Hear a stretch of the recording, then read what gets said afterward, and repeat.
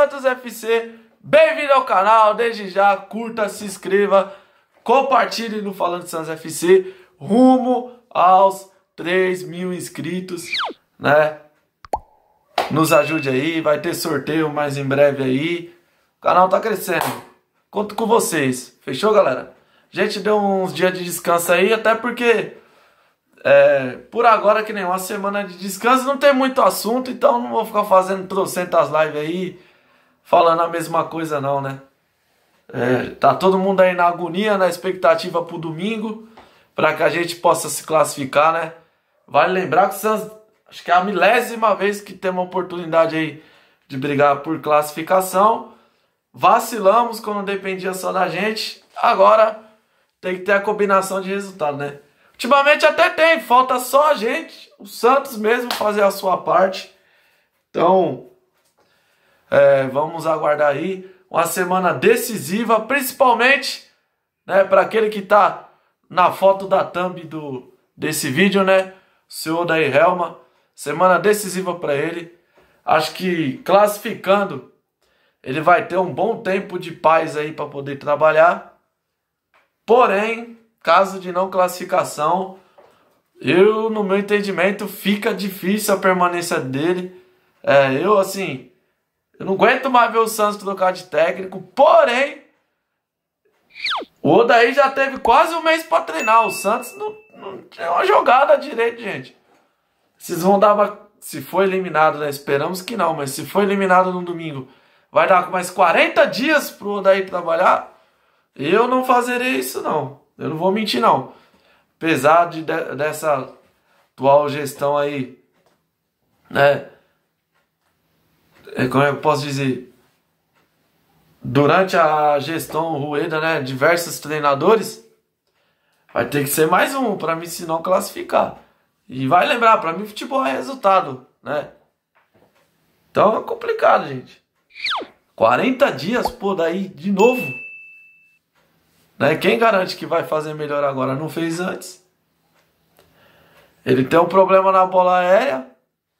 O principal jogador, um dos principais que vem causando esse problema na bola aérea, que é o Maicon, né?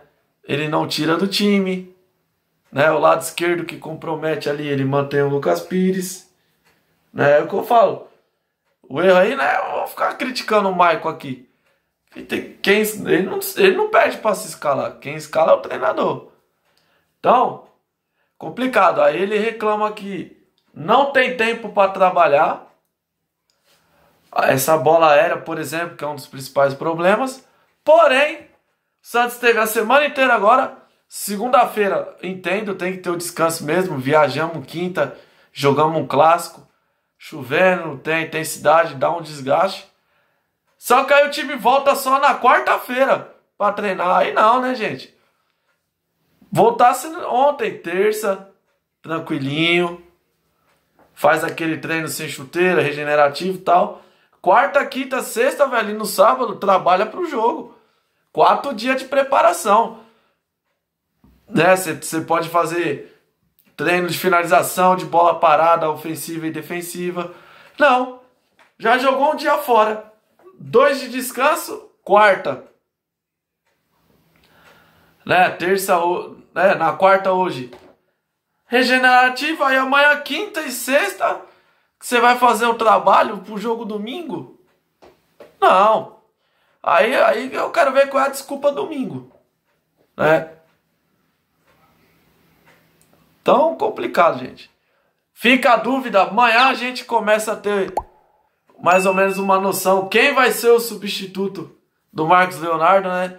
Tem a briga entre Juan Seco, Raniel e o Lucas Barbosa. Vale lembrar que o Lucas, o Juan, Juan Seco e o Lucas Barbosa estão ali entre os favoritos. Possivelmente pode jogar até os dois, né?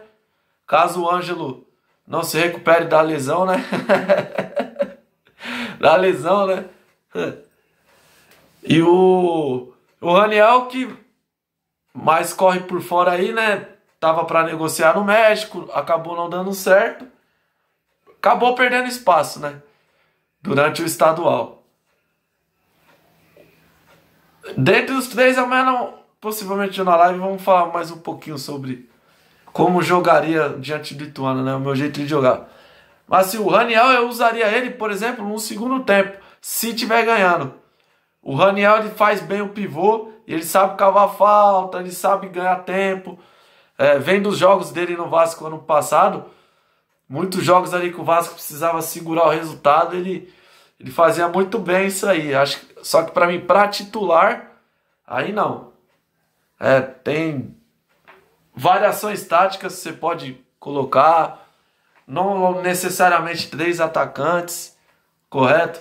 Pode jogar no 4-4-2 né, com dois meias ofensivos, Lucasinho e Ruiz, por exemplo, você não vai ficar mais, mais defensivo por causa disso. Pelo contrário, você pode ter os pontas fazendo jogada e você tendo dois meias entrando na área para finalizar, abrindo espaço do adversário, por exemplo.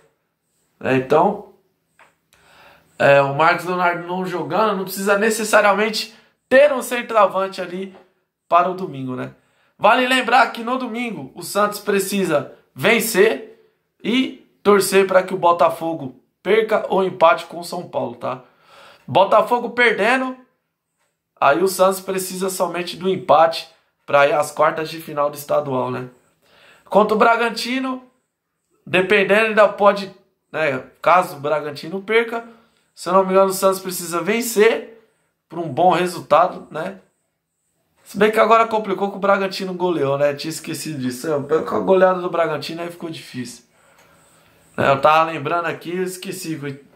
É, é a última rodada. O Bragantino já ganhou do Ituano por 5x1, né? Então o saldo do Bragantino é quase 6. Então aí é complicado. Não tem jeito não, é secar o. o... Secar não, é fazer a nossa parte lá ganhar. Eu não vou ficar torcendo pra rival, não, mano. Se empatar lá, perdeu, beleza. Eu não quero nem saber. Vou ser sincero, é a gente ganhar o nosso jogo, né?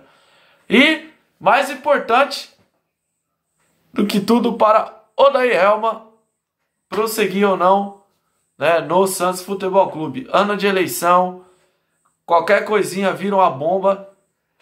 Então, pro Odaí ter um pouco de paz, é importante, principalmente, óbvio, Santos, torcedor, a gente quer brigar pelo título, mas principalmente pro Odaí é extremamente importante a classificação, né? Para ele ter um tempo aí pra, de paz.